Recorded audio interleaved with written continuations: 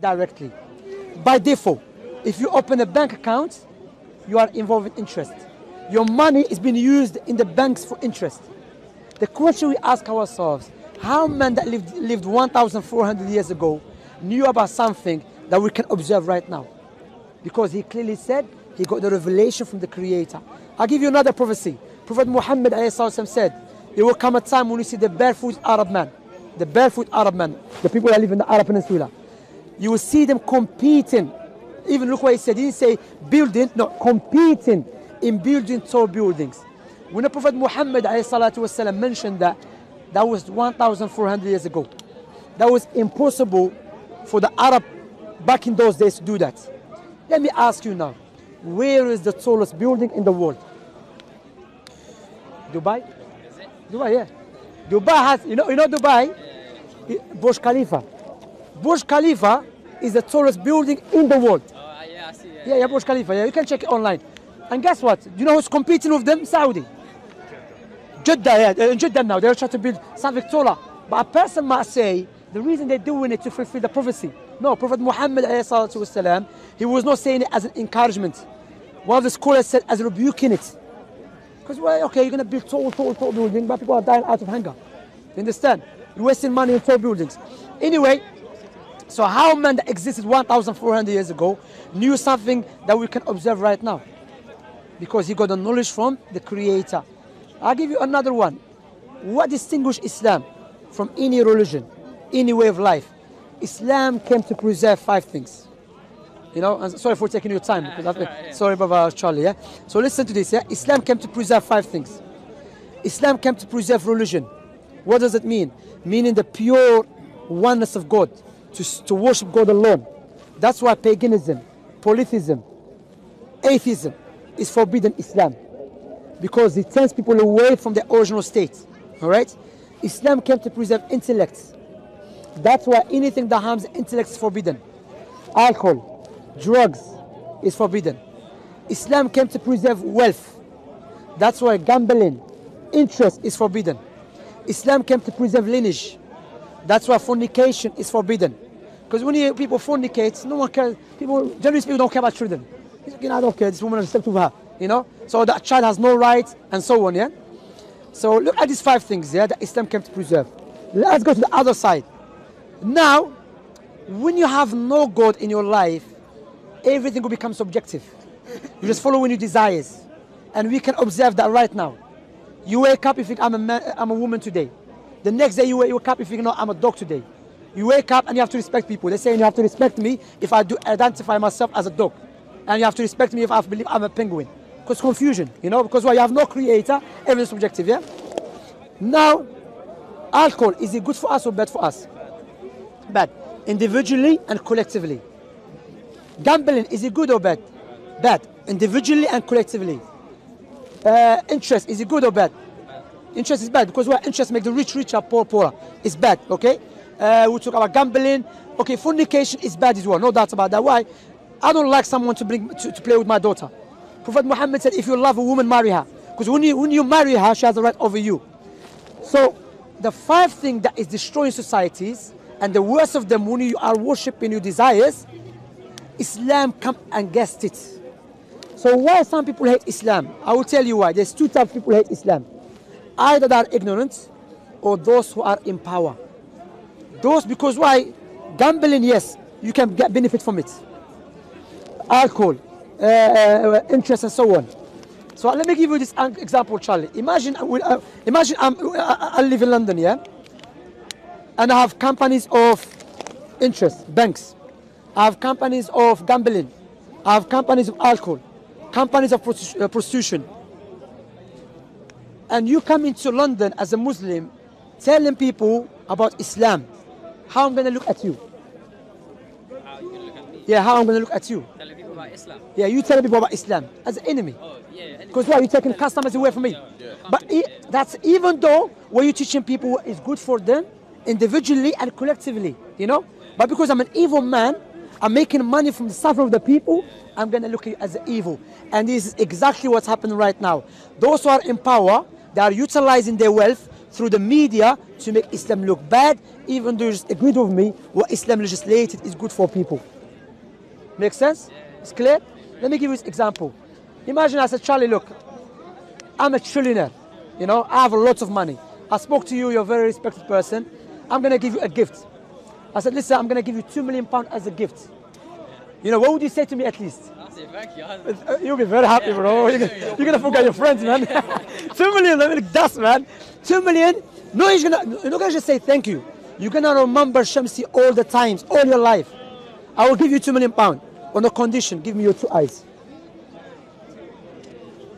No go. Do you know why? Because your eyes is more valuable than anything. So why we not we are not grateful and remember the one that gave us eyes for free? Yeah, yeah. That's a good saying. Make sense? See? Now, yes, we want to be grateful to God. We want to be grateful to the Creator and worship Him. Now, let me ask another question. If you, are, if you want to buy a gift for your mother, would you buy a gift that you love or your mother love? Likewise, if you want to worship the Creator, we should worship Him the way He loves, not the way we love. Because the way He loves is objective, the way we love is subjective. And there's something I want to mention. One of the clear proof that Muhammad is a messenger of the Most High, the legislation he came with. Now we have politicians who studied in the best universities around the world Harvard University, Oxford University, Cambridge University, yet they cannot resolve the problems that we are facing in our time. But we have a man that existed 1,400 years ago who couldn't read and write. He's coming with a legislation that will resolve all the problems. That give us a clear cut proof this man must be something special about him. And that was he was a messenger of the Most High. If it makes sense to you, it's clear to you, I invite you to become Muslim. If you listen to what I say, if it makes sense to you and you believe it's truth, I don't want to make you feel pressured. None of that. That's why I always say if it makes sense, if you believe, and you believe it's truth, then become Muslim. Because what I always say to you, you don't know when you're going to die. No one knows you're going to die. This life is temporary. I was speaking to your friend about owning a house. We don't own nothing. Wherever you own, you're gonna leave it. When we die, your our house will not come with us inside the grave. Your garment will not come with you inside the grave. Allah mentioned in the Quran, لَقَدْ جِئْتُمُونَ فُرَادَ كَمَا خَلَقْنَاكُمْ أَوَّلَ مَرَّةٍ The meaning of it, you have returned to us just as we have created you in the beginning. This life is like a bridge. You cross from one side to the other side. We believe the Most High has attributes of mercy. That's why it's create paradise. If you believe in Him and follow His teaching, you have a paradise, eternal life. And it has its attributes of anger. That's why it's create the hellfire. If you turn away from God, which is one of the greatest, uh, greatest crime, the outcome of that is the hellfire. But don't think Allah is going to make the righteous one equal with the evil ones. And the biggest evil is when you turn away from your Creator who gave you life, your own existence by His own virtue. But yet you turn away from Him because you're too busy with this life. You don't know when you're going to die. I don't know when I'm going to die. But if it makes sense to you and it's clear to you, because that's what it's Shahadatan. When someone becomes Muslim, what is it? I bear witness there is no one worthy of worship except Allah. I mean, I bear witness that I should worship the Creator, my Creator. And I bear witness Muhammad, the Messenger of Allah. That's the second, which is, I just showed you why we believe Muhammad, the Messenger of Allah, his prophecies, his miracles, his legislation, which you believe, you said it makes sense. So I'm inviting you, if you, if you want to become Muslim, that's how you become Muslim, bro. You want to become Muslim? Is, uh, uh, Give him some time. uh, let, let, let- wait, wait, let him think. Don't feel pressured. Don't feel, yeah, yeah, yeah. No, no, no, no, no. Yeah, yeah. Let him, let him. Chill out, chill out, no, no. Chill out. No, no, no. You said give him time, correct? Yeah, no, give him time. Are you promised he live tomorrow? No, of course not. If he dies as a disbeliever, Of course not. now if he dies as a disbeliever, Then I'll be on him, innit? you'll be you'll be responsible. So that's why you say when you give when I'm telling him, if it makes sense to you and is clear to you, don't feel pressured. You know because why?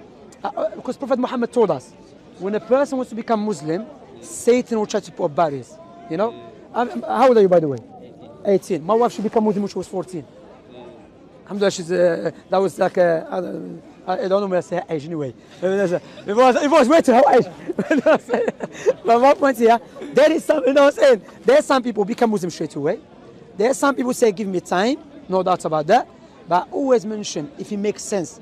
And because why you've been cut off from your creator. I when I told you I'll give you two million pounds, he didn't say give him a time to say thank you. He didn't say that. He didn't say that. You know, let me give you time to say thank you. No, You said thank you straight away. On the spot, you understand? So if it makes sense, is it true, bro? He's not gonna come up inside the grave. He wants, of course, I understand where it's coming from. Give him time. But that's why I always say to the people, and you can watch my videos. Some people accept Islam straight away because why I said, you know what, it makes sense to me, and that's what I need in my life. You know, I need to be grateful to my Creator. I need to worship my Creator. And. And some people say, give me time. Some people they come back to us and take shahada, mean to become Muslim. Some people maybe they become busy with life, they forget. But again, no one should, should not blame no one on the day of resurrection. That's why I'm saying this open invitation for you. If you want to become Muslim, then it's open invitation. If you want to give you time, there's something else, no problem. Whatever you want. So what do you want? Give me time. All right, give, this, give me the gun. Anyone has a gun? Just put it in his head now. No time, brother. Alhamdulillah, no problem at all. We have our channel, watch the channel. But again, what I would say, when you leave the park, all of us will become busy with life. But don't forget about what we spoke about. What we spoke about. Study, read more, no problem. Understand? Are you going to become Muslim? I'm Uh, no, I'm joking. Uh, do you have any question? No, no, that's good. What about you? You have any question? You look good, yeah? so different for me. MashaAllah, Alhamdulillah. Uh, Morocco is playing football today. Today. Who they playing with Tunisia? Egypt. Ah, Egypt, okay, mashallah. I have to support Morocco, man. I'm uh, in Morocco, innit? I mean, my grandmother is Moroccan, so I, have to, I don't really watch football. I watch it now and then, you know. But say again? We said, uh, anyway, man, you know, football. Charlie, it was nice to meet you. My pleasure to meet you, brother. Can you give me some money? I charge people. yeah, give me my two million back, bro. Look, I'm here every Sunday, but you can go back to our channels, do as da'wah. Do you, you speak, uh, go on, on Google, I mean YouTube, you find our channel. Anyway, I have to go, inshallah, man. All right, my brother. Salam alaikum, habibi. Yeah, take yeah, let's say, Charlie, man. Nice to meet you, bro. Take care, man. Salam alaikum, akhi. Take care, you lot. Brothers, I'm off, man. Salam alaikum. قال يا عشيرتي جميعكم حتى ابنتي لا أغني عنكم فاعبدوا إلهكم ووحدوا إذا أعجبك الفيديو لا تنسى الإعجاب والتعليق ولكي يصلك كل جديد اشترك الآن.